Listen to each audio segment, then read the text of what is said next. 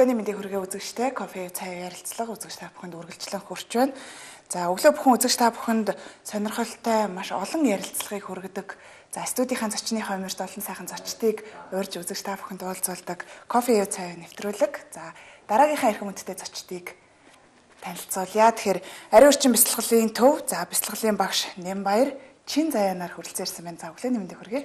Та бүхэнд бол нийт үзэгчтэй өглөөний мэндийг хүргэе. Өглөөний мэндийг хүргэе. За урилга хүлээж авсанд баярлалаа. Нэвтрүүлгийнхаа уламжлал ясаар та хоёрын хамтдаа кофе уугий. За нэвтрүүлгийнхаа туршид хамтрахын уугаад хэлээ. За яриагаа баярлалаа. За өмнө өмнөх дугаартаа за бясалгалын тухай маш олон сэдвүүдээр бид ярилцаж байсан. За хоёрын манд хувьд өнөөдөр за өөрийгөө хайрлах, өөрийгөө хайрлах вэ гэсэн сэдвийн хүрээнд за бид бас ярилцахаар та хоёрыг урьсан. Тэгэхээр ер нь бясалгал одоо бидэнд ямар хэрэгтэй юм те бясалгал гэж юу вэ гэсэн асуултаар яриагаа хэлье. За тэгээд яг бид хоёр бяцлаглаар явж байгаа учраас ялч хүний сэтгэл зүйтэй ажилдаг өөрийнхөө бас сэтгэл зүйтэй ажиллаж байгаа. Тэгэхээр сэтгэл зүйн маань өөрөө одоо энэ бурхан шашин ер нь л бүх хүн амар тайвны төлөө хайр энергийн төлөө явж яадаг. Эцсийн зорилго нь ерөөс бяцлаглалын эцсийн зорилго нь тэр. Тэгэхээр ингээд өөрийнхөө бяцлал хийдэг нь өөрөө яаж юм гэхээр өөрлөгөө харахын нэр. Өөрлөгөө харж, өөрийгөө ойлгож, өөрийгөө дотоодоосоо хайрлаж, тэгээ өөрийгөө дотоодоосоо эдгэж тий өөрийгөө дотоодоос ойлгох ойлголтыг ерөнхийдөө бяцлал гэдэг. Тэгэхээр өөрийнхөө доторлол орох энэ зүйлсийг бяцлал гэж байгаа. Тэгээд өөрийгөө хайрлах ухааныг биднээс дотоодоос л олж чадна. Тий гаднаас мянга хайгаад биднээс олдохгүй учраас дотооддоо биднээс өөрийгөө хайрласнаар бусдыг хайрлах чадвартай болдог. Тэгэхээр хүмүүс нөгөө нэг ярьдаг штеп. Өөрийгөө хайрлсан хүн бусдыг хайрладаг. Өөрийгөө ойлгосон хүн бусдыг ойлгодог. Тийм үү? Аа тэгвэл бас тий ингээд хүн яг дотоод байдлаараа гадна нөхцөл байдлаа бусад хүмүүсийг толдож харж яддаг гэсэн. Бусад хүмүүсээс жишээлбэл өөрийгөө олж чаддаг гэсэн. За тэгвэл хин нэгэн дотроо ингээ шүүн өөрийгөө шүүдэг хүн бай гэж яддаг тий. Би өөртөө ингэж чаддаггүй би тэгж чаддаггүй ч юм уу тий. Ингээ шүүдэг хүн байвал аа ингэвэл бусад хүмүүсээс яг тэр шүүлтийг л олж хардаг. Угта тэр хүн тиймдээ биш энэ хүн шүүх сэтгэлгээгээр харж байгаа байдаг байхгүй. Тэгэхээр ингээд бяцлал маань өөрөө гүн рүүгээ явах тусмаа талархал хайр болж л хувирдаг. Энэ нь өөрөө биднээсийг дотоодос зүрх сэтгэлийг бие махбодыг оюун санаа гэдгийг гэдэг зүйл. Эднээсийг биднээс мартцсан. Дандаа л тарих маань өөрөө яадаг вэ? Дандаа л нөө айц, тэ, гомдол, уур уцаар, за ингээ санаа зовнил, стресс гэж биднээс яриад байгаа шүү дээ. Тэр бүгд л ингээ чиглэж идэг. Тэгэхээр өөрийгөө хайрлна гэдэг нь зүгээр нэг ингээд одоо өөрөө хит их бүүцэлдэг юм байдаг шүү дээ. Тэр бол огт биш. Энэ бол эго буюу би би гэсэн үзэл. Би өөрийгөө мондог болонгод би мондог байна гэд муу болонгод би болохгүй би хэцүү байна ганцаархан зовж ийн гэдэг тий энэ бол өөрийгөө хайрлах биш.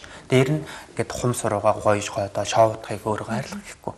Өөрийгөө хайрлах гэдэг нь өөрийгөө ойлгох өөрийгөө удирдан залж чиглүүлэх сэтгэлээ ойлгох тий биднээс өөрийгөө яагаад байгаач мэдэхгүй? Ямар сэтгэл үүсчээ? Дотор ямар хэцүү байгаад байгаагаа мэдэхгүй? Яагаад би өвдөд байгаа мэдэхгүй явчихдаг? Тий тэгээд хүмүүс өөрсдөө яадаг вэ гэхээр ерөөсөө өөртөө цаг гаргаж өөрийгөө ямарч хайхрах завгүй явчихдаг. Завгүй завгүй завгүй ажил ажил мөнгө мөнгө гэж явсаар явжгаад нэг л өдөр маш хүнд өвчин дээр өсдөг. Өвчин бол зүгээр нэг өдрийн дотор л бий болдог. Гинтл тий маш хүнд өвчин туссан гэд зөндөө хүмүүс ярьж тий зүв зүгээр ажиллаа явчихсан. Зүв зүгээр ингээд завгүй гээл гүчс тий.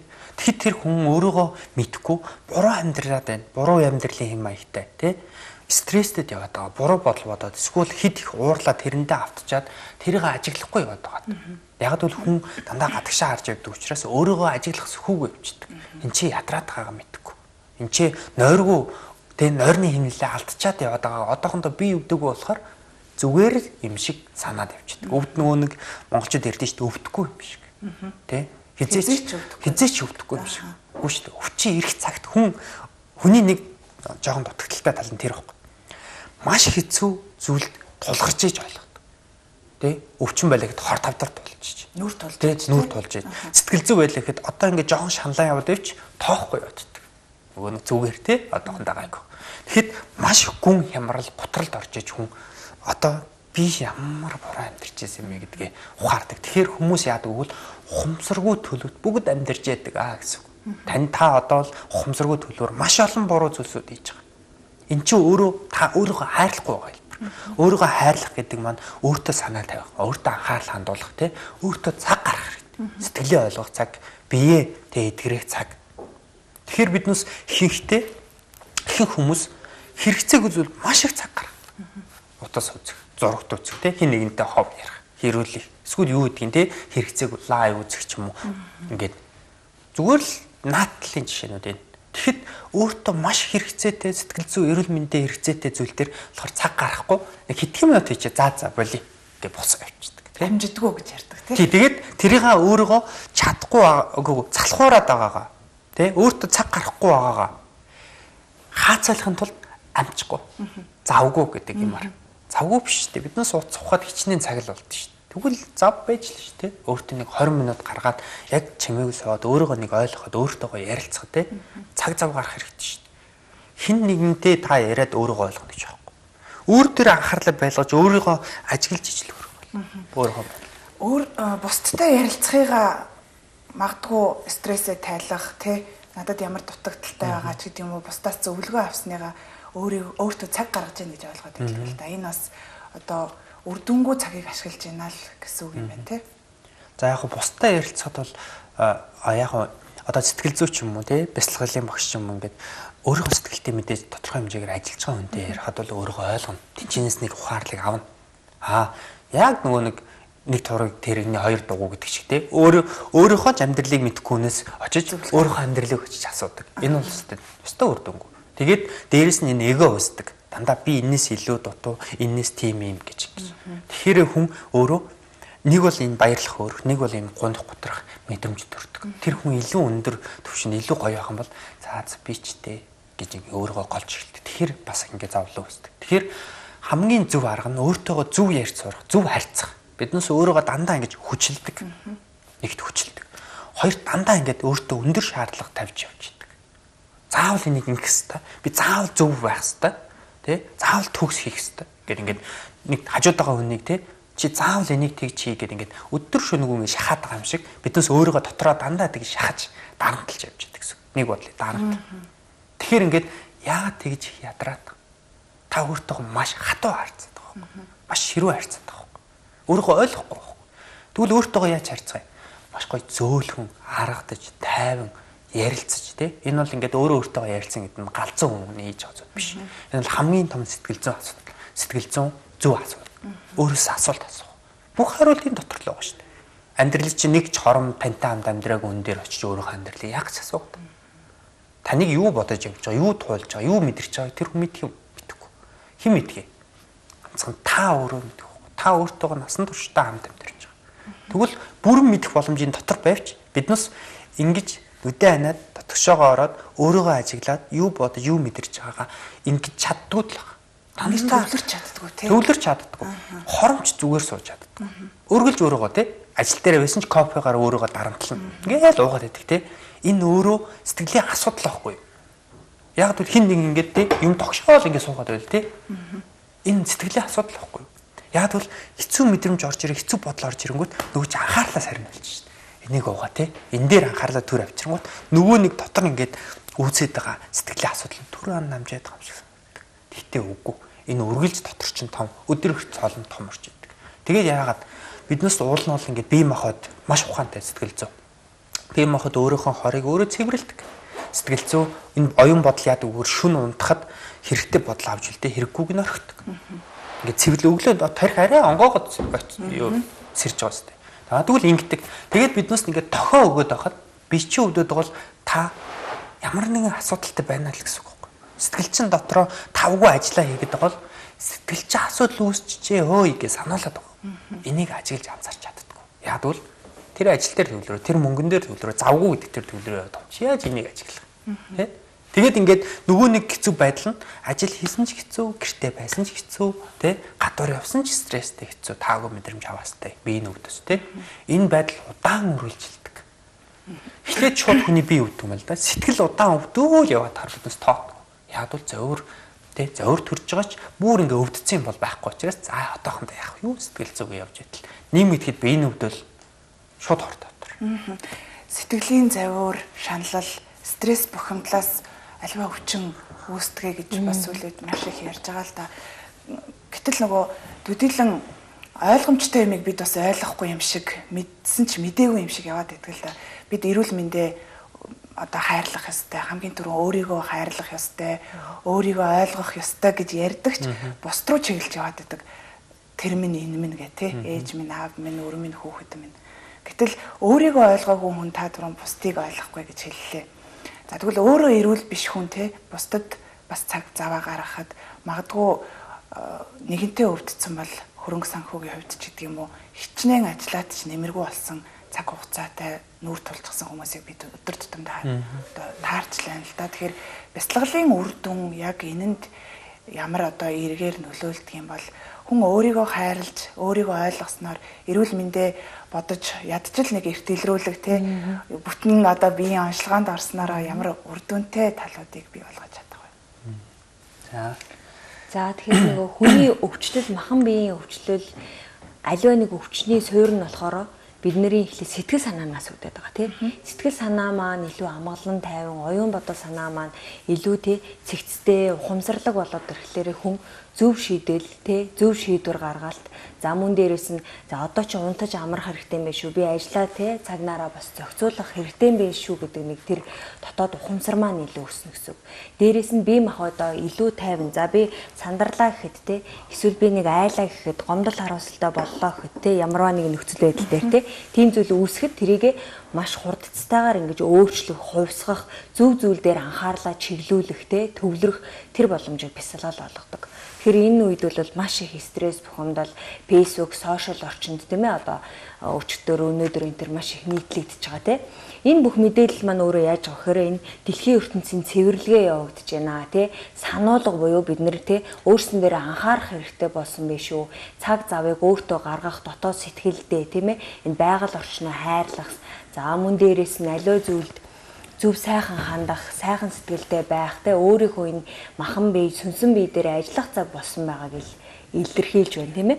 Тийм болохоор бид нар өөртөө хэсгээ хугацаагч гэсэн ингэж дотоод сүнсний тэр тэ чадамжтай ингэж зориулж чадах юм бол эрүүл байх, амар тайван байх, зөв нэгдэлтэй тийм ээ Монгол улс орн маань илүү бат бих, сайхан, эв найрамдалтай байх тэр боломжийг биднэрт энэ дотоод сүнс маань болгож идэг гэсэн. Тэгэхээр өөр дээрээ цаг зав гаргаж эрүүл сарвал байснараа тийм ээ бусад үр хөвгттэйгээ зөв сайхан харилцснараа тэгээ энэ мэдээ мэдээллийг одоо нэгэнтэйгээ сайхан харилцах нь эргээд маш олон тэр эрчим энергийг бий болгодог учраас тэр зөв зүйлийг бол бид нар нэг хүнс ирснээрээ за ингээд цаашаага тарааснараа энэ Монгол улс орн маань дэлхийн эв найрамдалтай инх тайван төртөл нөлөөлөх боломжтой гэж үзэж байгаа. Бяцлаглаар хичээлдэг хүмүүс бол тий маш олон болсон. Бяцлаглыг хэр удаан хугацаанд явж ийж магадгүй ойлгох уу, дүнгийн мэдрэх үү. За ариун орчин бяцлаглалын төвийн хувьд сургалтууд явуулдаг тийм ээ. За тагмаар болон онлайнаар тэгээд бяцлагалд явснараа бидэнд одоо үлдэх өргөөжийн талаар бас ярьж өгөөч. За бяцлагалд явснараа үлдэх өрөөгөөж гэвэл та сэтгэлийн хувьд эрүүл биеийн хувьд эрүүл амар тайван бол хайр инрэл тий талархал эдрийг та мэдэрч эхэл. Ад жаргалын интернэл гэсэн үг. Ад жаргал таны дотоодоос зөвхөн ундрна. Тэгэхээр төрөний хэлсэн шиг таны хэлсэн шүү дээ. Хүмүүс ингээд тий э, буруу амьдраад байгаа мэдхгүй явж явж байгаа ингээ хүнд байдалд ингээ орчод шүү дээ. Өөрөө ч ухамсарлахгүй тий. А эн чинь өөрөө биднээс ухамсаргүй төлөвд байгаа гэсэн үг. Бодлын төлөвд гэсэн. Бодол бол зөвхөн өнгөс төлөв. Энэ дээр л биднээс хий зүйл бодцоод тэрэндээ итгээд яваад байна гэдэг чинь зөвхөн хийсвэр зүйлдээ л амьдраад байна гэсэн үг. А тэгэхээр бяцлаглаар тэгвэл та түрүү яаж биднээс өөрчлөгдөх вэ гэсэн дээ. Бяцлал таны сэтгэлийн гүн рүү ор. Сэтгэлийн гүн рүү ороод сэтгэл хөгжөөд ирэнгүүт яах вэ? Маш их хөгжил явагддаг байхгүй. Та тэлж эхэлдэг байхгүй. Яагтвэл сэтгэл өөрөө оюун бодол тий хязгааргүй байхгүй сүнс гэдэг ба ш тэ сүнс сэтгэл хоёр чинь нэг байхгүй ухамсар гур нэг биднээс зүрх сэтгэл үе энэ чинээс гардаг хайр энэчнээс гардаг. Хайр тархинаас гардаг шүү дээ. Аа тэгвэл энэчнээс. Тэгвэл бодлоос илүү сэтгэл маань 5000 дахин илүү хүчтэй. Тэгвэл хүн сэтгэлээ хөгжүүлэх тоол нь улам бүр ухамсарлаг бол. Ухамсарлаг болоод ирэнгүүт би зөв буруу үйл хийгээд байгаа юм биш. Би буруу бодлоод байгаа юм биш. Би буруу үг хэд хэлээд байгаа юм биш. Би буруу амьдраад байгаа юм биш гэдгийг ойлгодог. Тэгээд засч эхэлдэг. Ухамсар өсгүйгээр та хурлаад яваад байгаа ч мэдгүй. Буруу амьдраад бусдад гайвалаад яваад байгаа ч мэдгүй. Тэгвэл яг нь бит хоёр нийгмийг өөрчлөхийн тулд ингээл хүмүүс чагсаал багсаал хийж нэг хүнийг өөрчил нэг хүний ор хичнээн мянган хүн байна. Тэгвэл нийгэм тэтчгээрээ нэг хүн л өөрөө хариуцлагатай. Нэг хүн л өөрөө зөв болчих юм бол тэ эрүүл болчих юм бол муу зүйл хийхгүй шүү гэдгийг өөртөө мэдж яхан ухамсарлаг болчих юм бол яг уу бүх хүн дор бүрний ухамсарлаг байх юм бол нийгэм өөрөө тэр чигээрээ тайван болох болно шүү дээ. Ингэж биднес өөрчлөн тэгээд манай бяцлал болохоор маш богинохой хэмжээнд явагддаг. Анхан шатны хүмүүст маш гоё тохирсон. Шууд чамайгаа суугаад ингээд авахгүй дээрээс нь маш зөв бяцлал. Зүгээр л бяцлал гээл олон бяцлалын та сайн хэлж байна. Олон бяцлал, олон бяцлалын багш нар гарч байна. А тэгэхэд энэ дотор буруунч байгаа. Мөнгөний төлөө явж байгаа ч байгаа. Хит их хийсвэрж байгаа. Бяцлагын ганц зорилго юу вэ? Зөвхөн энэ бяцлал зөв. Өөрийнхөө дотоод руу орж өөрийнхөө сэтгэлийг тайвшруулж бодлоо удирдах те эерэг болж мэдрэмжээ өөрчил биеийн эрүүл болох. Энэ л биднээс хайрлах талархах өөрөөсөө сайн сайхныг л ялгаруулах бусад бүх те сэтгэлийн муу төлөвүүдээс ангижрах. Энэ л зорилго түүнээс л те тэр нэг ийм ич шидэг юу яах те бурхантай холбогдох мессеж те эсвэл тийм хид их ингээл хий төсөөлөл ч юм уу те эсвэл нэг зарим нэг үлгэр домог юм ярьдаг шүү энэ бол бяцлал биш. Бүр гайхамшигыг хүсээд байдаг л да те бяцлал явснараа гэд те өө юус ойлгосонгүй ч гэдэг юм уу үрдөнгүү байлаач гэдэг юм уу. За тэгвэл ариурчин бяцлаглалын төвд хандсан за бяцлаглаар хичээлсэн үүнийг ойлгож авсан хүмүүстэй мэдээж та хоёрын хувьд те багш нар ярилцаж байгаа. Тэгэхээр яг тэдгээр хүмүүст тулгардаг ямар асуудал байд вэ ямар асуудалтай учраас бяцлаглалын төвд хандаж байна?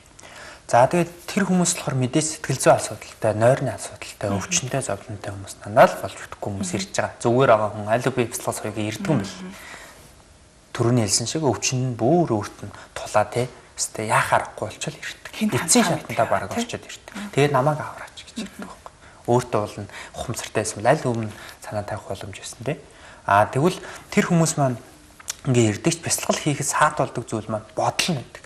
Бодол нь итгэл итгэж чаддггүй өвдөн гэдэгтээ итгэсэн мөртлөөс эдгэрнэ гэдэгтээ итгэж чаддаггүй. Бяцлагд чадна гэдэгтээ итгэж чаддаггүй хүмүүс ирдэг. Дээрээс нь бяцлал хийж байгаа хүмүүс маань яах вэ гэхээр дандаа ингээд ихэнх хүмүүс одоо хараарай. Усарч ямаа юм уу тэр хин гэдгийг те. За нэр дуртаад яг ингээд дандаа хэрүүл орол хийсэн эсвэл асуудалтай лайв те тийм юм руу ингээд бүх хүмүүс хэдэн мянгаар очиж үздэг. Тийм мөртлөөсөө эрүүл мэнд гээ ярьж байгаа. Сэтгэл зүг гэж ярьж байгаа юмыг хүмүүс барагтаа бол үздэггүй Тэгэхээр хүмүүс юу руу тэмүүлж байна? Дандаа болохгүй бүтэхгүй. Эсвэл дандаа ийм хийсвэр зүйл рүү. Эсвэл дандаа нэг иш шидийн зүйл рүү л явдаг. Бяцлал сонглоо те. Яг бодод ингээд өөр дээрээ төгөлрөөд ингээ өөрөөхөө те ядаж муу бодлоо ажиглавал тэр нь өөртөө сайн шүү дээ. Тэгвэл энийг хүсдэггүй. Муу бодлоо ажиглаад ингээд өөрөөхөө хэцүү юмыг засах гад ингээд сууж байгаа нь гоё ич шид төсөөлөө суужсэн тэр хүнд илүү гой санагддаг байхгүй. Тийм учраас тэрлүү ихэнхдээ явдаг цөөхөн хүмүүс нь л зөв зүйл дээр очиж тийм ууруу илүү дурладаг тийм. Тийм болохоор биднээс бяцлагаж чадахгүй байгаа. Өөрчлөж чадахгүй. Тэгээ итгэж чадахгүй. Итгэхгүй. Ерөөсөө л нэг байнга эргэлзээтэй тийм. Хичнээн гоё юм ярьсан дунд нь ганц буруу юм бичвэл тэр бяцлагалж худлаа юм биш. Анхаарал нь өргөлж асуудал дээр төвлөрж явж идэг хүн яах вэ? Өргөлж асуудлыг л гаднаас бусад хүмүүсээс нийгмээс олж харсаад явж идэг. Бяцлал хийдэг хүмүүс яагаад цаанаасаа гэрэлтээд цаанаасаа тайван байгаад идэг. Тийм бусад хүмүүс хажууд нь сандралтайг үйлж яхад яагаад зүгээр хийчихдэг. Энд чинь бүх зүйл төр зураг гэдгийг мэддэг мөртлөөсөө энэ амар тайван байдлаа алдахгүй өөр дээрээ анхаарлаа байлгачдаг. Гэтэ энэ бол хэцүү.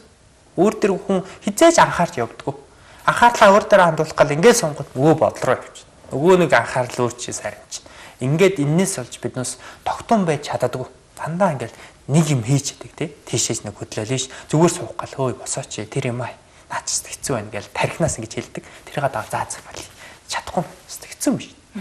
Гэл маш амархан тий. Ингээл 3 минут энчнээ төвлөрөө 9 доллар гэхэд энийг чадах. Тэгэхээр ингээд энэ байдлаас авч бид бас бяцлал хийж чадахгүй байна. Аа тэгээд бас ариун орчин маань ариун орчим гээд пэйж байгаа. Монголоор бичгэнгүүт цэнхэр зурагтай пэйж байгаа. Тэгээд 91190970 9119-78-аар зөвлөгөө одоо бяцлагт хамрагдаж болно. Тэгээд тэр пэйжд маань болохоор өдөр болгон ийм постууд тэгээд ийм бяцлаглалын зар маань ингээ лайв хичээлүүд орж байгаа. Тэр болгоныг үзээд хүн ухаарлаа. Өө зүв бодож эхэлдэг. Одоо л зүв амьдрий гэж тэмүүлж эхэлдэг. Ингээд одооноос өөрийгөө засахгүй бол тартагтан тулчаад хор тавдар болчоод сэтгэл готрол орчоод ирэх юм бол маш хэцүү байхгүй. Тавж гарч чадахгүй бүр ингээд тий тууштай байдаг юмд итгэдэг тий ийм хүнэлт авч гарна гэс хэцүү. Тэгэхээр одоо гайгүй байгаа дээрээ засаад авчвал амархан засагдана. цаг хугацааж багаар. бясалгал өөрөө бас давхар сэтгэл зүйг эмчлээд ах шиг тий. Сүүлийн үед бас бидний сошиал орчинд ч тавигдж байна. За найз нөхөд тий бидний танилуд дунд хүрээлэл дунд ч байна л да. Сэтгэл гутрал гэдэг зүйлийг маш их ярьдаг болжээ. Тэгэхээр яагаад сэтгэл гутралд ороод идэх юм бол орсноо бас төдийлөн мэддгүү яваад ах шиг байгаа юм. Тэгэхээр үүнээс гарах гарцыг хин хэрхэн чиглүүлэх хэвтэй. За бясалгалд явж байгаа явж байсан одоо ч хичээллэж байгаа хэд хэдэн хүн одоо миний ойр дотн байна л да. Тэгэхээр яг таны хэлсэнчлэн маш ингээд тайван байж чаддаг. Өөрийгөө бус одоо зүйлээс хол ингээд байлгаж чадаад ах шиг байгаа юм. Тэгэхээр бид одоо бүгд л бас нэг хүн сэрвэл бидний эрен тойрондох гэж ярьлаа. Яг л ийм л юм байна гэдгийг бас би ойлгосоо байна л да. За тэгээд өнөөдөр өөрийгөө хайрлах гэсэн тий. Тэгэхээр өөрийгөө хайрлаад өөр дээрээ бясалгал хийгээд өөрийгөө ойлгоо тий ингэж байгаа нь өөрөө амин хуваагч гэж асуудал биш үү. Яг таны хэрэгслээ эргэн тойр. Таал өөрөө гоё болж байгаа. Таал өөрөө өөрийгөө хайрлж өөрийгөө ойлгож байгаа. Тэгээд та өөрөө өөрийнхөө эзэн болоод ирэх. Өөрөө ирэхгүй бусдад нь та одоо ингэ миний энергийг мэдэрч байгааз 50 санагдаж байна уу? Би тань нөлөөлж байгаа. А тэгвэл энэ бид гурав сууж байгаа нэг ууртай хүн ирүүл яах вэ? Бид гурав уурлаж эхэлнэ. Тэгвэл хүн болгоно хин нэгэнд зүгээр нэг танихгүй хүнд хүртэл нөлөөлөд мэдэрчдэг. Тэгвэл та зөв болоход яах вэ? Иргэн тойрны ахан дүүс амаатан садна хамгийн түрүүнд үр хүүхэд гэр бүлээс авахлаад өөрчлөгдөж эхэлнэ. Заавал тэр хүмүүс нэгээд өглөөл те яншаад авах хэрэггүй. Өөрөө л зөв байх юм бол тэр хүмүүс чинь таныг харж байгаа. Шууд дагаал өөрчлөгдөх. Тий. Тэгэхээр нөгөө үлгэр жишээч биш тийм ээ. Аав ээж нь маш сайхан бясалгал хийдэг байхan бол өөр хүүхдэн ч гэсэн тэр эрчим энергээр ингээ ундаалж идэг. Тэр хүүхэд магадгүй сайхан амгалан тайван зөв хүмүүжлэлтэй өсчихөр нөгөө цэцэрлэгтэй байгаа тэр хүүхдүүдэд бас ингээ аа ийм байх ёстой юм биш үү гэдэг тэр хугтгооныг өгнө. Ингээд ирэхээр цаашлаад маш олон нийгэм даяараа тий өөрчлөгдөх бас боломжтой гэсэн үг. Тэгэхээр гэр бүлийн тэр те ялангуяа аав ээж эцэг эхчүүд те томчууд бясалгал хийж байгаа тохиолдолд маш олон хүмүүс нөлөөлөл үзүүлэх боломжтой байдаг. Тэгэхээр сэтгэл гутрал байгаа те асуудалтай байгаа болвол өөрийнхөө зөв гарц гаргалгаа нь бол бидний дотоод буюу энэ зүрхний чандад энд оршиж байгаа.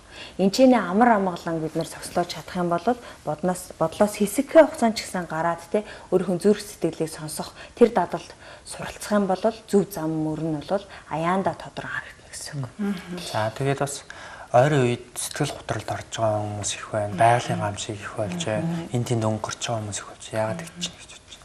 Сүнсний эрөө юу юу? Энэ дэлхийн ертөнцийн тэнцвэрээ алдсан. Байгальтайгаа буруу харьцдаг. Хүн төрөлхтөд маш хайргас болсон оюун санаа нь маш их дийлддэг болсон.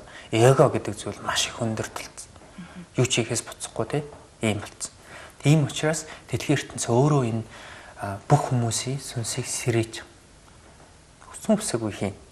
Та би бэлтгэл хийхгүй гэж байна үгүй. Та хий. Цаг нь болоогүй баг. Та зовж иж ойлгоод тэгээд тэгжиж хийдэг байхгүй. Гэхдээ танд яаж бэлтгэлд энэ зүйлс рүү зөв зам руу хүн ордог вөхөр уналт. Хүмүүс уналтыг аимшигтай гэж Үгүй.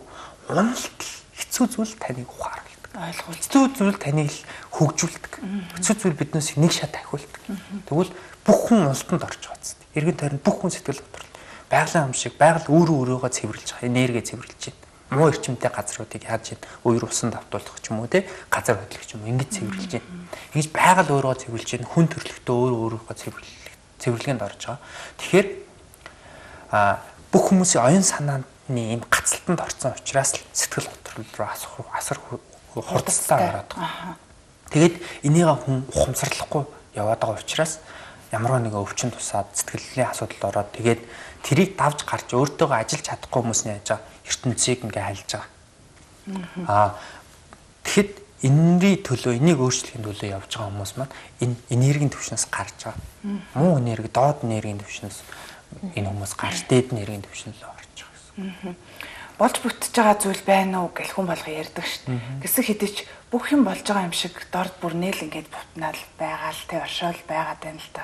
Гэтэл энэ олон болж бүтэхгүй зүйлсийн дундуур бид нар ингээд нөгөө гутал одоо өстой хөл нүцгэн туучаад явж байгааг хэрхэн хэн өөрчлөх хэвтэй би тэгэхээр хүн нэг хүн хувь хүн өөрийгөө өөрчилж ээж бусдыг өөрчлөх хэвтэй байна. За бусдын нөлөөнд автдаг хүн гэж бас хэнийг хэлэх юм бол. За бусдын нөлөөнд авт биднес угаасаа бүх хүн нийгэм болон бусдын нөлөөнд автаж явчихдаг. Хин нэг уурлангуу та дагаад уурлжвал та авч чана л гэсэн. Тэгвэл энэ хүн ямар вэ? Ямар хүн бэ? Энэ энерги муутай энэ одоо юу гэсэн үг? Одоо өөрийн сэтгэлийн чадамж сул хүн гэсэн үг. Сул хүн дагаад бохимдож байгаагаараа юу? Аа за. Аа хэрвээ энэ хажууд нэг хүн уурлж хахад би уурлахгүй байх боломж байгаа. Тэгвэл би өөрийнхөө эзэн байж чаддаг, өөрийгөө удирч чаддаг хүн гэсэн үг. Тэгээд та түр хэлсэн шүү дээ. Бяцлал өөрөө сэтгэлийг өөрчлөөд нь. Үгүй ээ. Бяцлал бүх юмыг өөрчилнө. Яг бол та өөрөө ертөнцийг харах толин та ахгүй. Дотоод сэтгэлээ өөрчилжүүл ертөнц дагаад өөрчилнө. Дотор өмнө самуунтай бол бүх юм өмнө самуунтай юм шиг санагддаг. Дотор гоё бол хичнээн их тэ хэцүү зүйл тохиолж исэн ч гоё санагддаг. Энэ бол ертөнцийг харах толин таны сэтгэл баг. Тэгвэл сэтгэл дээрээ ажилласнаар сэтгэл идгээд бие идгээд тусахгүй таны ажил амьдрал бүх юм чигдэрч эхэлнэ. Бүх юм сайжирна. Бүх юм амжилттай болж эхэлнэ. Бүх харилцаа чинь сайжирч эхэлнэ.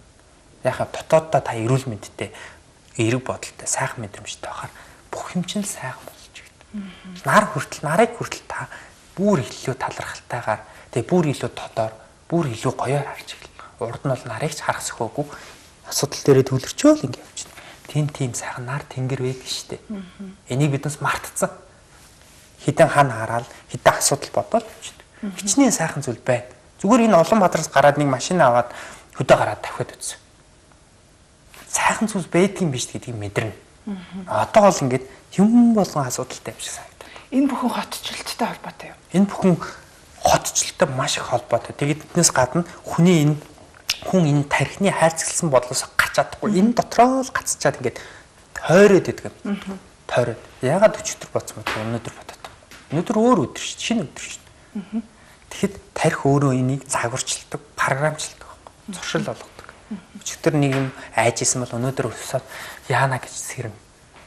Тархинд энэ үлдсэн. Яагтвэл тарих таны анхаарал төвлөрсөн зүйлийг Тэ дахин дахин бодсон зүйлийг хит их ач холбогдсон зүйлийг энэ хэрэгтэй байна гэж аваад төлчдөг. Тэгээд хүн өнгөрснөөр амьдрах. Нэвтрүүлэг дуусгах гэж байна. Тэгээд богинохон хариулаад өгөөч. Бяцлал өөрөө айдсаас ангид ойлгож чадах уу? Бүх зүйлээс ангид сурш. Тэ донтолт, айдс, гуниг гутрал, гомдол, уур уцаараас ангид. Ямар нэгэн зүйл чаналал яваад идэг ш хүмүүс тий. Ямар нэгэн нийгмийн хэцүү одоо ийм өмнө самнаас хүртэл ангид. Яг тэгвэл хүн дотроо анги 50 байхад нийгэм өм самж исэн чи эн чи 50 л хийж байна. Энийг л ойлгох хэрэгтэй. За нэвтрүүлгийн хугацаа дуусгаас нэг найруулагч сануулж байна. Тэгээд ариун эрчимслэгийн төвд за суралцах хүмүүсийг за бяцлаглаар хичээллэх уриалгыг та хоёр маань хүргээч. Нэвтрүүлгийн дуршид бас ер нь ойлгож авсан байх тийм ээ. Хичээллэх хэрэгтэй юм байна шүү гэдгийг. Тийм тэгээ би сэтгэл дээрээ ажиллая, өөрийгөө илүү хөгжүүлье, тийм ээ танин мэдээ тий. За тэгээд илүү ухамсараа сэрээ гэсэн хүмүүс нь тэгээ ариун өрчим Facebook пэйжээр бас дамжуулж холбогдох боломжтой. Мөн 91190970 91190978 дугаараас илүү дэлгэрэнгүй мэдээллийг бас авах боломжтой шүү. Тэгээ бүгдээрээ тийм ээ бясалгал хийж өөрийгөө илүү амар тайван тэр сэтгэл зүйд өөрийгөө бас гэж тогтоож тэр дадлыг өгтөө эзэмшүүлье. За баярлалаа хэрэгтэй мэдээллийг хүргэсэнд.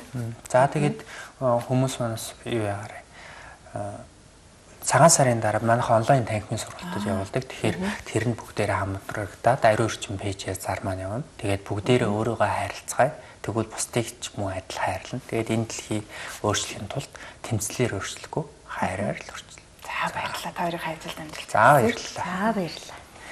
Хамт үзэгч та бүхэнд баярлалаа. За магадгүй үзэгч танд хэрэгтэй мэдээллийг хүргэж чадсан болов уу гэж бодож байна. Тэгээд үзэгч та бүхэн илүү дэлгэрүүлж асуух асуулт байвал дэлгэцэн давар гарч байгаа утаснууд руу холбогдсон. За ариувчин пэйж хуудсанд бас хандсанаар хэрэгтэй мэдээлэл авах боломжтой юм аа. Ингээ хамт байсан үзэгч та бүхэнд баярлалаа. Өдрийг сайхан өнгөрүүлээрэй.